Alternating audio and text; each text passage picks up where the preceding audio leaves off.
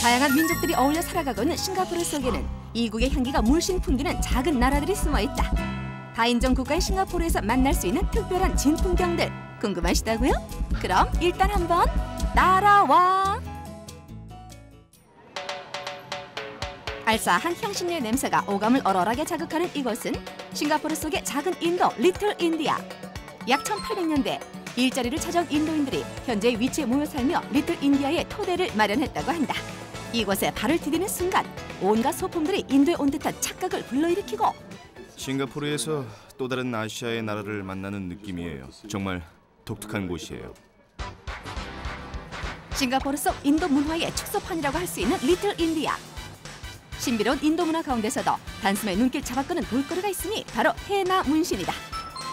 헤나란 머리 염색이나 일시적인 문신에 쓰이는 천연 염료. 몸치장하기 좋아하는 아가씨들에게 헤나 문신은 인기 만점. 정교하면서도 화려한 문양 하나하나에는 행운과 아름다움을 기원하는 마음이 담겨져 있다. 전 남자지만 헤나가 정말 좋아요. 오늘은 좀 터프한 무늬로 부탁해요. 기대돼요. 리틀 인디아를 찾은 외국인들에게 독특한 인도 문화의 정취를 느끼게 해주는 헤나. 그리고 싱가포르에서 살고 있는 인도 사람들은 고향이 그리울 때마다 헤나 문신을 하며 낯선 땅에서 살아가는 서름을 달랜다고 한다. 인도 사람들에게 리틀 인디아는 정서와 상업의 중심지라고 할 수 있죠. 그리고 고향을 떠나온 많은 인도 사람들에게 리틀 인디아는 마음의 고향이나 다름없어요.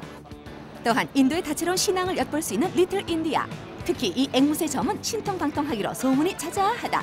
영적 능력 있는 앵무새가 뽑아드는 점괘로 운명을 점쳐보게 되는데 새점은 기본이고 인도에는 동물 점들이 차고 넘쳐요.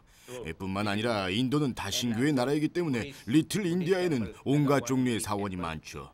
저쪽에는 아주 큰 힌두교 사원이 있고 또 더 나가면 회교 사원도 있고 그리고 불교 신자를 위한 절도 있어요.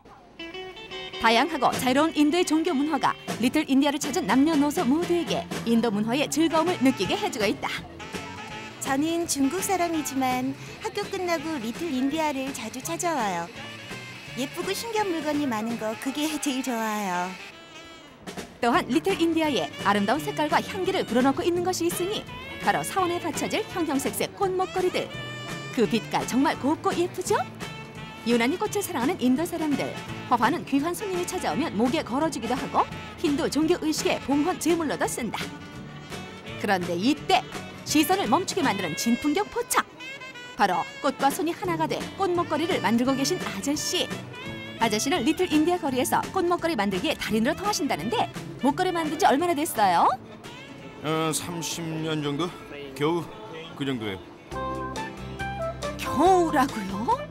아저씨는 사원에 받쳐질 꽃목걸이기에 언제나 경건한 마음으로 손을 널린다. 자, 그럼 아름다운 꽃들이 받쳐지는 사원 한번 구경해 볼까요?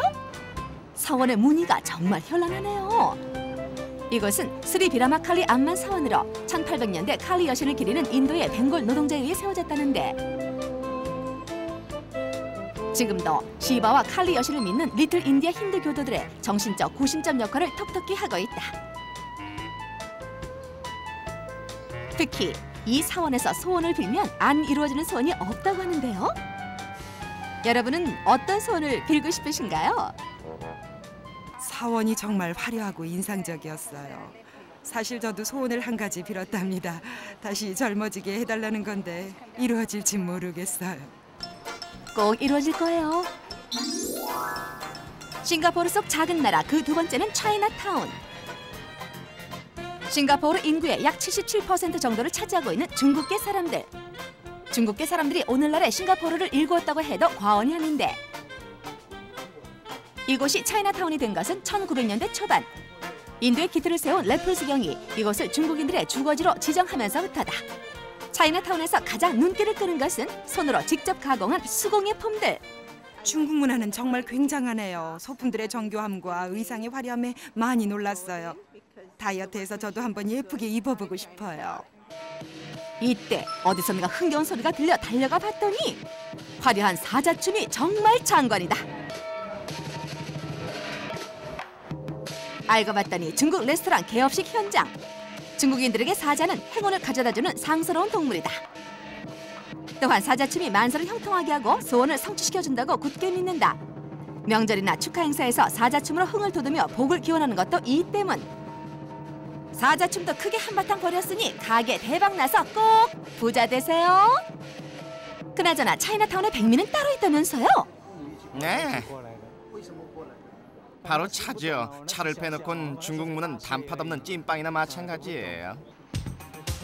특히나 이곳은 100년 넘게 한 자리를 지키며 차를 팔고 있는 가게로 중국 차 문화의 진수를 감상해볼 수 있는 것. 뿐만 아니라 주인장 할아버지는 약골에 특효인 차를 손수 다려주는 돈으로 그 명성이 자자하다. 지금도 중국에서 공수해온 차를 손수 포장하고 손님들에게 정성껏 다려주는 할아버지. 그런 고집이 있어 오늘날의 명성을 얻게 된 건 아닐까요? 주인 할아버지가 저희 아버지세요. 차에 대한 장인 정신은 정말 존경하게 되죠. 그래서 저도 아버지의 대를 이어 차 가게를 꾸려 나갈 생각이에요. 어디 차뿐이랴 중국에서 들여온 한약재들도 차이나타운의 명물. 체질에 맞춰 달아가는 보약은 인기 만점 관광 상품이다. 세계적인 웰빙 바람 덕분인지 한약을 지어가는 사람이 많이 늘었어요. 따뜻한 전통차 한 잔으로 그 바쁜 와중에서도 마음의 여유를 잃지 않고 있는 차이나타운의 상인들.